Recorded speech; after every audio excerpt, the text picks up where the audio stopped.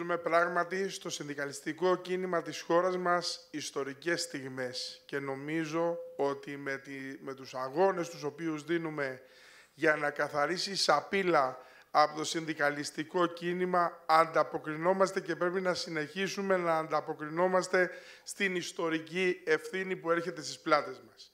20 χρόνια πάμε. 20 χρόνια πάμε και μου ήρθε μια σκέψη πριν από λίγο σε σχέση με την Κέρκυρα. Όταν τότε ακριβώς έμπαινα στο συνδικαλιστικό κίνημα της Κέρκυρας, εκλεγόμουν αντιπρόσωπος στο Εργατικό Κέντρο, στην Ομοσπονδία κτλ. 45 περίπου ήταν οι αντιπρόσωποι συνολικά του Εργατικού Κέντρου της Κέρκυρας. 92 έχουν φτάσει τώρα. Πώς φτάσαμε στους 92? Μαζικοποίηση των σωματείων του ΠΑΜΕ μέσα στους χώρους δουλειάς, με το πάμε να εμπνέει τους εργαζόμενους αυτή η ενότητα, αυτή η δράση κτλ.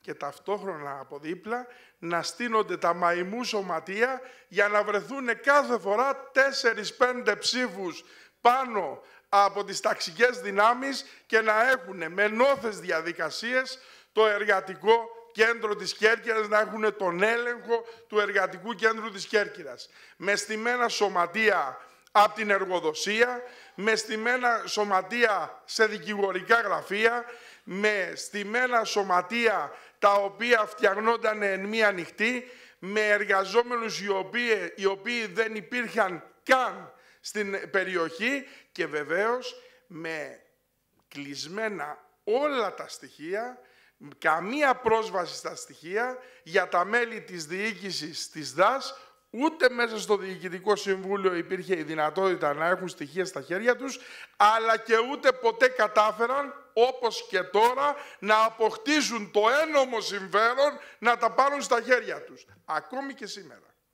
Με αγωγές έχουμε πάρει μόνο όσα είχαμε ήδη στοιχεία και αναγνωρίστηκε το ένομο συμφέρον λόγω της αγωγής και μόνο γι' αυτά πήραμε. Είναι κι άλλα σωματεία τα οποία ούτε και με, την, και με το αίτημα της εκτελεστικής ε, γραμματείας της ΓΕΣΕΕ έγινε αποδεκτό από το πρωτοδικείο, απορρίφθηκε και αυτό να δοθούν τα στοιχεία. Διότι και σε αυτά τα σωματεία ακόμα υπάρχει μεγάλη νοθεία.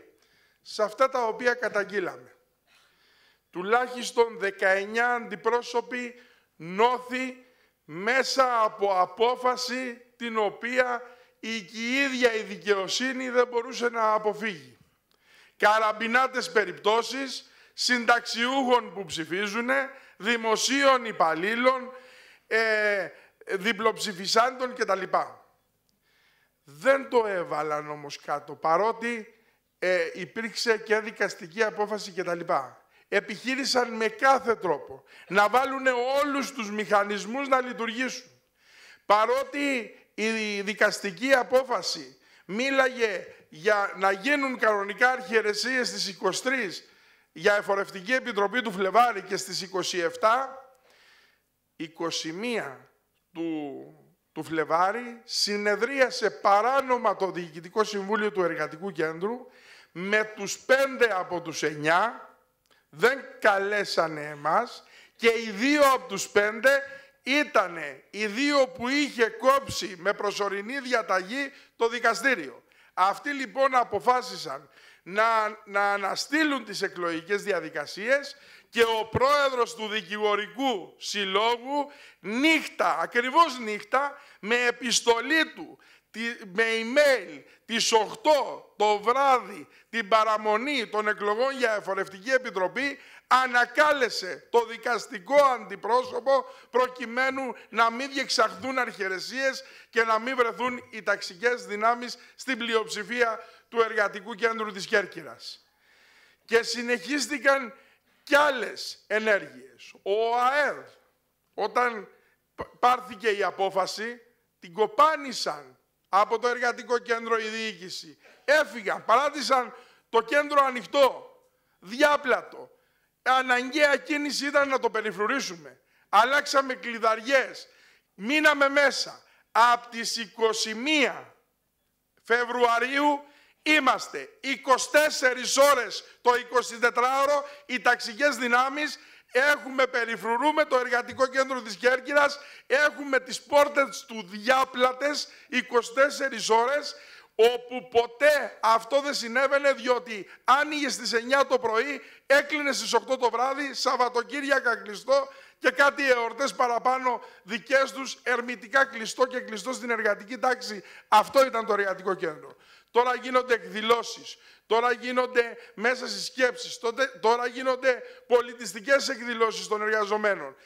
Τρεις συσκέψεις έχουμε κάνει αντίστοιχες και χτες μάλιστα συζητήσαμε σε μία αντίστοιχη τέτοια σύσκεψη για τα ζητήματα τα οποία αφορούν την εργατική τάξη στο νησί, για την οργάνωση της ε, Πρωτομαγιάς και το πώς θα κάνουμε τη δουλειά για να πετύχει η οργάνωση της ε, Πρωτομαγιάς και ταυτόχρονα στο πώς θα αντιμετωπιστεί ο εργοδοτικός και κυβερνητικός συνδικαλισμός και η ανάδειξη ακριβώς της απειλής της οποίας έχει στηθεί για την προσπάθεια να μπάσουν τους εργοδότες μέσα στα συνδικάτα.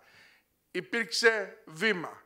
Τέσσερα σωματεία που δεν ήταν στη δύναμη του ΠΑΜΕ. Αντιπρόσωποι τους, οι προέδροι τους ήρθαν και συμμετείχαν στη σύσκεψη.